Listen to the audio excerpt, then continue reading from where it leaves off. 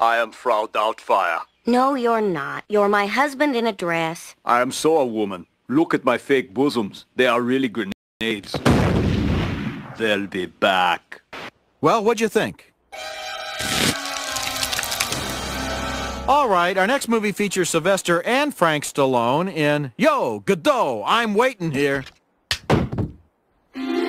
Tim Allen gives that same likable performance we always love, once again proving Disney pictures have the magic touch that may not win awards, but keep America smiling. How is that? You're Satan, aren't you? You win another round, Siskel, but we shall meet again.